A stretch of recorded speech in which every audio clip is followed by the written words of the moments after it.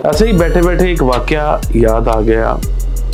और मैंने सोचा, क्यों ना आप लोगों के साथ वो वाक्य शेयर किया जाए। सत श्रीकाल नमस्कार, आदाब दोस्तों, मैं हूँ आपका मनी कुलार स्वागत करता हूँ आपका मेरे चैनल पे। आप लोगों ने सिटीज़ के अंदर बहुत सारी गायें को घूमते हुए देखा होगा, जो पूरा दिन घर से निकलती हैं, उनको छोड़ दिया जाता है।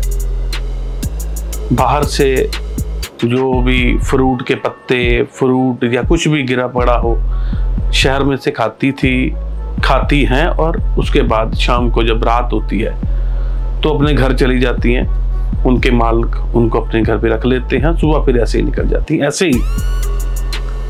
बहुत समय पहले गाँव में भी लोग ऐसा करते थे, जिन लोगों के पास बहुत सारे पशु होते थे, गाय होती थी, वो गाँव को छोड़ देते थे। ऐसे वो जंगल में चरने के लिए चली जाती थी। जब शाम होती थी तो अपने आप वापस घर पे आ जाती थी तो उनका जो प्रोसेस होता है मतलब दूध निकालना, वो काम होता था। एक बार की बात है कि कुछ, एक किसान की कुछ गायें जंगल में चुगने के लिए गई हुई हैं और वहाँ पे गए, जब शाम हुई तो सारी गायें जितनी भी थी, वो वापस घर को आ गई, लेकिन एक गाय जो है, वो जंगल में रह गई और उसके पीछे शेर पड़ गया। और शेर गाय के पीछे लगा हुआ है और गाय आगे आगे भागी जा रही है, भागी जा रही है। ऐसे ही भागते भागते भागते भागते रास्ते में एक तालाब छपड़ी या मतलब होता है ना, जिसमें गारा हो, गंदगी हो, उसके अंदर गायें छलांग लगाती है और गायें उसके अंदर फंस जाती है और उतनी स्पीड से पीछे शेर भागा आ रहा है। और भागता आता आता है, वो भी छलांग लगाता है और वो भी उसी गार में फंस जाता है मतलब। गाय जो है, गाय शेर से दो कदम पीछे और शेर ने छलांगी इतनी ज़ोर से लगाई कि वो गा से भी मतलब एक मीटर आगे छलांग गई और वो भी गारे में फंस गया। अभी दोनों गाय भी फंसी पड़ी है और शेर भी फंसा पड़ा। और फंसी फंसी गाय मुस्कुरा रही है, हंस रही है। शेर की ओर देख के। जब शेर ने हल्का सा पीछे को टर्न करके देखा कि गाय हंस रही है और शेर उसको पूछता है, ये गा, ऐसा क्या हो गया? तू तू हंस क्यों रही है? फंसी तू भी है, फंसा मैं भी हूँ, है? लेकिन तू हंस क्यों रही है? तो पता है क्या, गां क्या जवाब देती है, गां बोलती है कि मैं आती हूँ डेली जंगल में चरने के लिए। मेरे साथ और भी 19-20 गायें होती हैं। हम लोग शाम को वापस चले जाते हैं। आज मेरे पीछे तू लग गया और मैं यहाँ पे भागती भागती इस कीचड़ में फंस गई।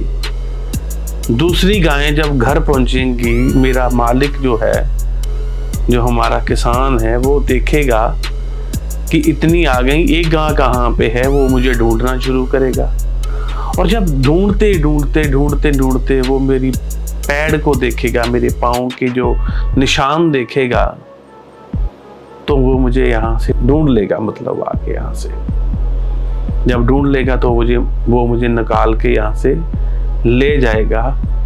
मैं इस बात पे हंस रही हूँ कि मेरा तो कोई मालिक है, मुझे ढूंढ लेगा और यहाँ से निकाल के ले जाएगा। तुझे कौन निकालेगा? तुझे कौन निकालेगा? तेरा तो कोई मालिक भी नहीं है। अपने मालिक पे इतना प्राउड है, इतना गरूर है उस गाय को कि मेरे पीछे कोई है। प्राउड होता है। एक अपने आप का जैसे होता है ना, हौसला बड़ा हो जाता है कि मेरे पीछे कोई है। जिसके पीछे कोई नहीं होता, उसका कुछ नहीं होता। तो इस दुनिया में लोग जो हैं, अपनों को छोड़ के आगे भागे जा रहे हैं। अपनों को छोड़ के दुनिया में अपनी ओर से तो वो कुछ अच्छा करने की कोशिश कर रहे हैं, लेकिन जो उनके अपने हैं, जिन पे एक गाय को प्राउड है कि मुझे वो ले जाएगा। लेकिन हम लोग क्या है? हम लोग अपने मतलब के लिए हम लोग अपने कुछ मतलब चंद फ़ायदे के लिए अपनों को छोड़कर भाग रहे हैं। जैसे इस देश में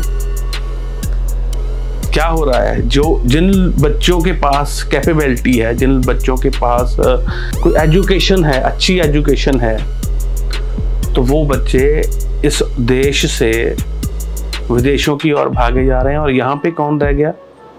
जिन लोगों को कुछ नहीं पता। मतलब सीधी लैंग्वेज में पंजाबी में अगर बोलने की बात करें तो माता दा माल बोल देते हैं पंजाबी में ऐसे कि कौन रह गया यहाँ पे?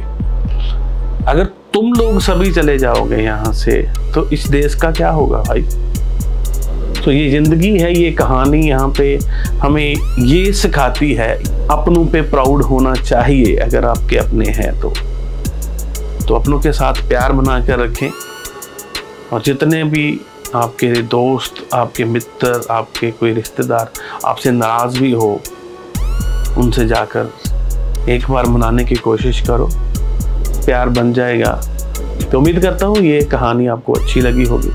अगर आपको ये कहानी में कुछ अच्छा लगा तो इसको शेयर ज़रूर करना और हमारे चैनल को सब्सक्राइब करना। फेसबुक पे देख रहे हो तो फेसबुक को फॉलो ज़रूर करना।